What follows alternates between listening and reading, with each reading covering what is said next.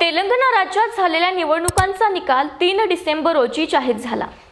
त्या तेलंगणा राज्यामध्ये काँग्रेसनं बहुमत मिळवत आपली सत्ता आणली तर भाजप दोन नंबरचा पक्ष ठरला आणि ओवीसी यांच्या A I M I M पक्षाला सात जागा मिळाल्या व काँग्रेसने रेवंत रेड्डी यांची तेलंगणा राज्याची मुख्यमंत्री म्हणून निवड केली. आणि काल हंगामी विधानसभा अध्यक्ष म्हणून A I M I M पक्षाचे अकबरुद्दीन ओवेसी यांची नियुक्ती करण्यात आली.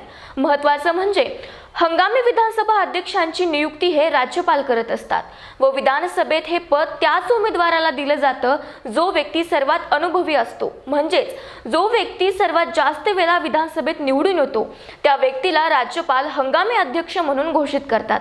आणि आता याच घटनेनंतर राज्याच्या विधानसभेत मोठा गदारोळ झालाय. भाजपच्या आमदारांनी ओवेसी यांच्या समोर शपथ घेणार नाही असं सांगितलंय.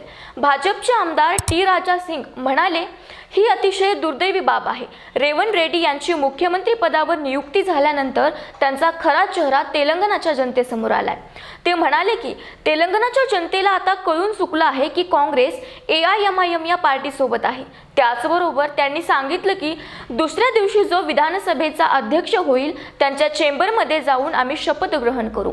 अशी त्यांनी काँग्रेसवर सडकून टीका केली आहे आणि यावरच काँग्रेसच्या सुप्रिया सिनेट यांनी सुद्धा भाजपवर एक्सद्वारे ट्विट करून निशाणा साधला आहे. त्यांनी हंगामी अध्यक्षांचं नियुक्तीपत्र ट्विट करून लिहिलंय. विधानसभेत भाजपा आमदार जो गोंधळ घालून भ्रम निर्माण करत आहेत त्यांनी सत्य वाचा. तर त्याच ठिकाणी अकबरुद्दीन ओवेसी यांना हंगामी अध्यक्ष करण्याचा निर्णय राज्यपाल यांनी घेतला असं त्यांनी लिहिले काही संशय असेल तर भाजपाद्वारे नियुक्त राज्यपाल डॉक्टर तमिलीसाई सौंदर्यराजन यांना विचारू शकता असं सुद्धा त्यांनी भाजप आमदारांना उद्देशून लिहिलंय.